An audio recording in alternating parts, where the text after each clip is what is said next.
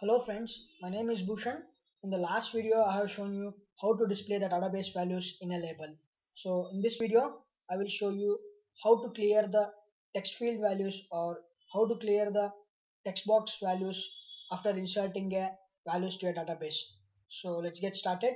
First of all let's open your uh, NetBeans IDE and go to your JFrame form and select the design view and uh, select one button and give a uh, name to your uh, button. So I'm gonna name it as reset and go to your uh, source view.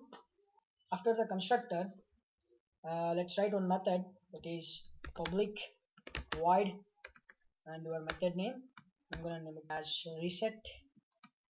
So inside the body uh, basically uh, what I'm doing is uh, using a set text method I'm assigning a null value or I'm assigning a uh, empty string to a text fields. So let's write your uh, text box name. Uh, text id dot set text. So double quotes. Uh, the same way do it for all the text fields. So copy and paste it. So now text age and text name. So now let's call this function inside our button. So go to your design view and select the reset button and go to events action action perform. So inside the action perform event we call the reset method. So also after your uh, insertion code after the catch block uh, we call the same function reset function. Now uh, save the program and run the file. Let's see what happens.